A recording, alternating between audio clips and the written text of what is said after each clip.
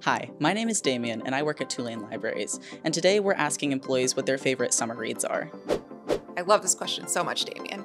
So my topic of the summer is actually the first in a series called the Children of Time series. It's focused on sort of an evolutionary sci-fi, like really, I would describe it as almost trippy premise in which humans in the distant future, seeking to terraform worlds, accidentally create sentient spiders. But it's kind of rad. That's awesome. What's your top summer read? Uh, Hunter S. Thompson's The Great Shark Hunt.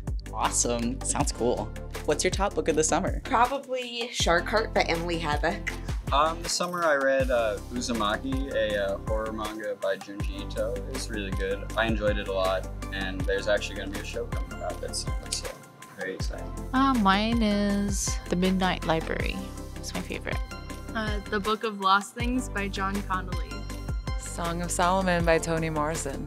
Mm, the best one this summer was El laberinto de los libros perdidos from Carlos Zafón. I really recommend that book.